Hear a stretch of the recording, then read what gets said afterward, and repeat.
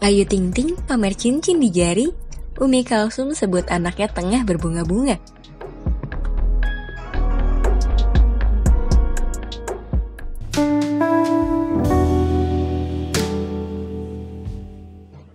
Ayu Ting Ting mengunggah foto tangannya di Instagram pribadinya at Ayu Ting Ting 92 pada Selasa 29 September 2020.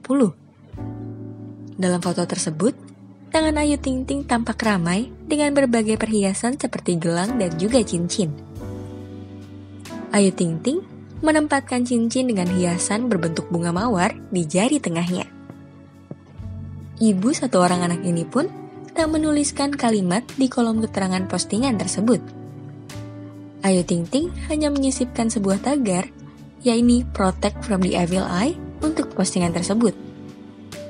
Sementara itu, foto yang dibagikan Ayu Ting Ting dikomentari juga nih oleh sang ibu, yaitu Umi Kalsum.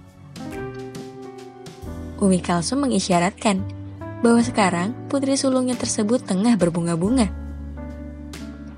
Tak hanya itu, Nenek dari Bilqis Sumairah Razak tersebut mendoakan agar sang putri selalu berbahagia.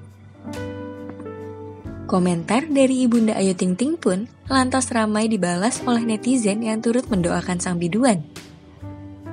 Di sisi lain, komentar Ibunda Ayu Ting Ting juga tampaknya membuat netizen penasaran nih.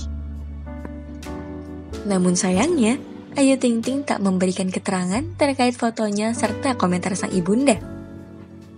Wah, kira-kira ada apa ya?